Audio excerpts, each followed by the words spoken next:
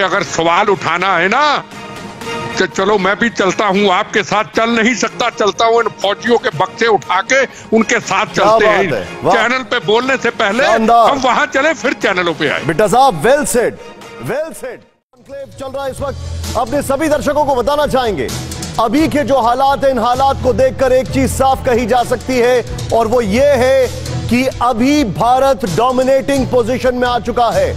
यानी चीन जो है, वो बैकफुट पर है फ्रंट फुट पर भारत है। और टीवी नाइन भारतवर्ष की जो सीरीज़ जो हम आपको शुरू से दिखा रहे हैं, उसमें एक एक चीज़ अब सच साबित होती जा रही है।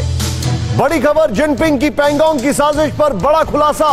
भारत को 24 घंटे पहले से दी साजिश की पूरी खबर। अब ब्लैक टॉप की खबर एक बार फिर से मैं आपके सामने बताना चाहूँगा। और पैंगोंग के ब्लैक टॉप पर भारत का कब्जा हो गया है। ब्लैक टॉप भारत के जवान जो है, वो वहाँ पर तैनात है। सीधे चलूँगा मैं बिट्टा साहब के पास। बिट्टा साहब, ये अनप्रेसिडेंटेड है। ये वो जियो में चेंज है जो शायद किसी ने कल्पना भी नहीं की थी। और आप जैसा हमेशा बोलते हैं कि इस पर राजनीति नहीं होनी चाहिए, लेकिन अब मुझे लगता है सारे राजनीतिक सवालों के ऊपर एक कहा जाए तो जिप लगा दी गई आज। पहले तो मैं आपका बहुत शुक्रगुजार करता हूँ कि आपने ये पहली खबर दिखाई। और आपने बताया कि सीना साहब तो बड़े अनुभवी हैं। उन्होंने कल ही आपको बता दिया था हालात को देख करके। पहले की पॉलिटिक्स और आज की पॉलिटिक्स। पहले की इच्छा शक्ति राजनीति की और आज की इच्छा शक्ति। आज से सात साल पहले क्या होता था? ये अरुणाचल में खाना खा के खाना खाने आते थे और खाना खा के चले जाते थे। सीना साहब को पता होगा। मज़े से आते थे अपनी सरहदों पे। ये पहली बार हुआ है। हम किसी के सपोर्टर नहीं है। हम मातृभूमि के सेवक हैं। पहली बार हुआ है कि इस मुल्क की सरहद की तरफ़ कोई बुरी निगाह से देख नहीं सकता, चाहे बंगाल हो, चाहे नेपाल हो, चाहे चाइना हो, चाहे बांग्लादेश हो या श्रीलंका हो। हम राजनीतिक फैसले राजनीतिक काम तो हिंदुस्तान में बहुत करते थे पब्लिसिटी के लिए। पर सीमाओं की सुरक्षा के ऊपर, जवानों की सुरक्षा के ऊपर हमने पिछले सात साल पहले किसी ने ध्यान नहीं दिया। हम मंत्री बन जाते थे। हम बड़े बड़े जिम्मेदारियाँ ले लेते थे। पर हमें सीमाओं की इतनी सी भी पॉलिटिशियन को समझ नहीं होती थी। मैं आपका बार बार शुक्रगुजार हूँ टीवी नाइन का और आपका। आप जब भी नेशन के ऊपर बॉर्डर की सीमाओं के ऊपर आप जब भी डिबेट करते हैं आप में को पॉलिटिशियन नहीं होता। आप हीना साहब जैसे लोगों को आप फॉरन अफेयर के एक्सपर्ट आप वो रिपोर्टर को बुलाते हैं जो दुनिया देखती है आपको। हम तूतू में, में खत्म नहीं होकर चले जाते। और पहली खबर जो आपने दिखाई है मेरा आपको हाथ जोड़ के बहुत ज़्यादा सलूट है।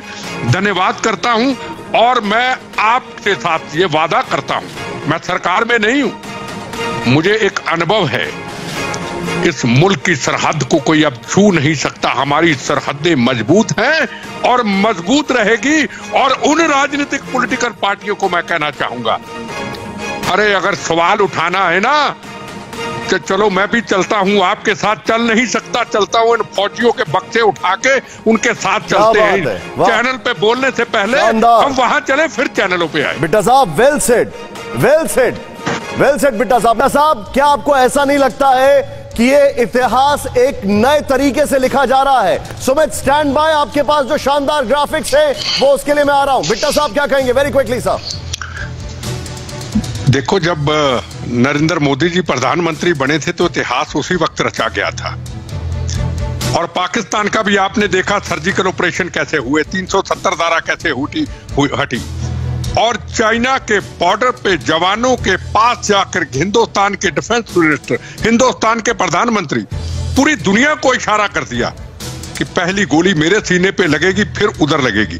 तो हमारी सीमाएँ अब इतनी सुरक्षित हैं, जैसे डिफेंस एक्सपर्ट सीना जनरल सीना साहब ने बताया, फॉरेन एक्सपर्ट साहब ने बताया, कोई अब फ़िक्र करने की ज़रूरत नहीं, पर हाँ हमें चाइना के ऊपर विश्वास नहीं करना है। खुशी की खबर है, पर खुशी के साथ साथ हमें इतने चुकन्ने रहना है कि चाइना फिर कोई ऐसी इधर से या उधर कोई शरारत ना करे।